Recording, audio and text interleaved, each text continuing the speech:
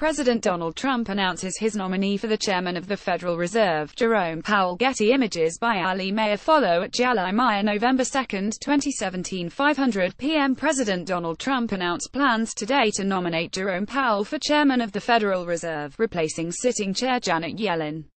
Powell is a sitting member of the Board of Governors of the Federal Reserve and a voting member of the Federal Open Market Committee, which is the policy-making arm of the central bank that makes decisions about monetary policy. Before coming to the Fed, Powell served as Assistant Secretary and Undersecretary of the Treasury under former President George H.W. Bush. It was unclear if current Fed Chair Janet Yellen, whose term expires in February 2018, would be asked to serve another term. President Trump had criticized her performance on the campaign trail, saying that the Fed's keeping interest rates near zero helped the Obama administration. Rep. Sean Duffy R. Wiss, asked Yellen in July if she was seeking to serve another term. Yellen replied that she intended to serve out her term.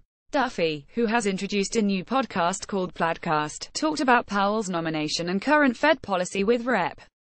Bill Huizenga, Mitch, who chairs the House Financial Services Capital Markets Subcommittee. On the podcast, Duffy asked Huizenga if Janet Yellen should leave her post as chair of the Federal Reserve. I think that there are better options, Huizenga said. In regards to reforming the Fed, the congressman said that to improve the health of the economy, market forces should drive interest rates and monetary policy. We don't have true market forces, and whether you agree or disagree about the Fed's interference into interest rates through monetary policy, through the quantitative easing program, which was literally when the US government was offering to sell bonds, nobody was buying them, Huizenga said. So the Fed bought them from Treasury, and they pretended like that was a free market exchange. Well, it really wasn't, and Japan has now done that. Europe has now done this. We've artificially driven down interest rates. Again, you can argue both ways as to whether it was a good thing, bad thing, Huizenga said. What most people are saying is, hey, we've been at this now for eight years, nine years, it's time that we allow market forces back into it. Both Duffy and Huizenga also touted predictability and how it helps Americans make decisions about their finances and investments and how it helps businesses make operating decisions. Predictability is a big thing that I hear a lot, said the Michigan congressman.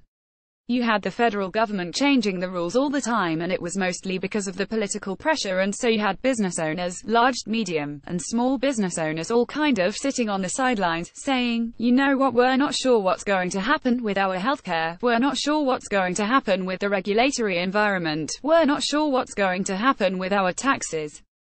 Huizenga said that a lot of these people decided to sit on the sidelines due to uncertainty because they were afraid they may get burned like they did in 2009 and 2010. We have successfully, I believe, rolled back a number of those regulations, Huizenga said. We've got to deal with tax reform to lend some predictability and lower that overall corporate tax rate and maybe more importantly that pass-through rate for small businesses.